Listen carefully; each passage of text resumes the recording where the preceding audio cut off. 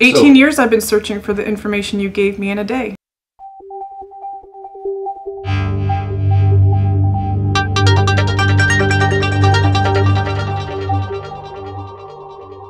Tell me what brought you here from Hawaii.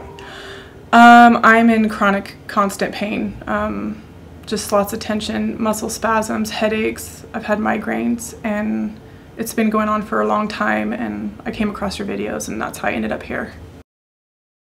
So you're here for the past couple days, and we ran you through the, the screening, the mm-hmm. neural occlusion screening protocols. What'd you think? What did it do for you? It was shocking the the diagnosis, just knowing what I have wrong with me. Yeah. But it it was good to know that it's not in my head, that I'm not a stress case, that Yeah.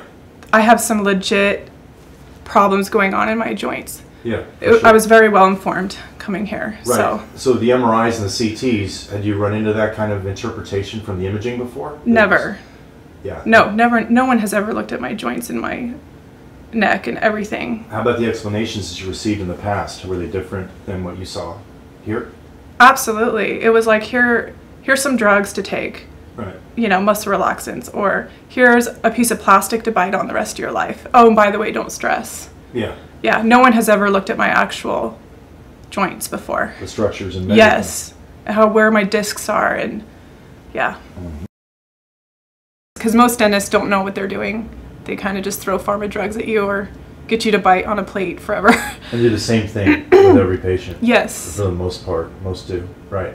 Yeah, so the, the big deal about the screening, the neural occlusion screening, is that we and others that were teaching about this, we're basing all of our treatment on diagnosis, which is measured. Yes. In other words, we're putting numbers to things. Yeah. You had multiple diagnoses. it wasn't just one thing, it was six or seven things. It was crazy. Yeah. Everything that was wrong with me. And how many of those have you been told about before? Nothing. No. Yeah. I have no one's ever told me where my discs are sitting, my mandible being short on one side, my jaw being over to the left, the right a little bit. Uh-huh.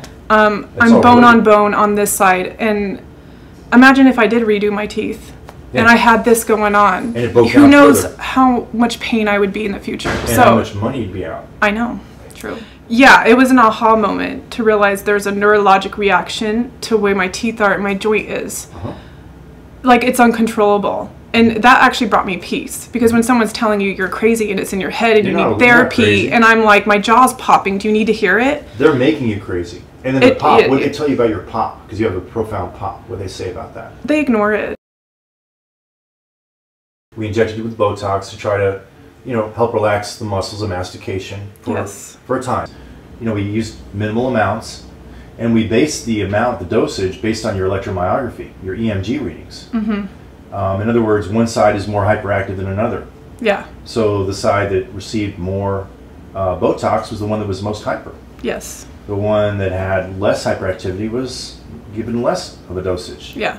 That You- makes sense, right? So hopefully you'll feel a little bit better. yeah. It's just about p- pain management now until I get to see Dr. Piper. And when Piper sees Yeah. you, he's going to really go over that list, make sure it's complete, and start treating you appropriately. He's also a physician, he's not just a dentist. Fight or flight response, basically, on you is ramped up. Oh, yeah.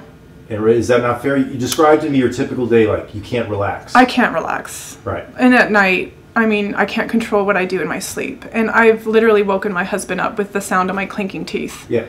And it's it's scary to not be able to relax. Yeah. It's no it's fun. painful. It's painful. And then s mm-hmm. like even your emotions, the, you know, what it does to you psychologically, being in pain all the time yeah. and then nobody terrible. acknowledges that you really have a problem. They're telling you that you're you're full of it. You don't have a problem. Yes. Yeah. That's classic. Never seen that combo before, that's for sure. Trigeminal, so- cervical, and sympathetic. Wow. All TMJ patients, quote unquote TMJ, have those three inputs. Words of wisdom? Um, go to Dr. Yiannios. he will help you. Well, And leave you informed. At, least. get you informed. Yeah. Yeah, we can't always treat them, but we can usually help them on the right path, right? Yeah. Yeah, that's fair.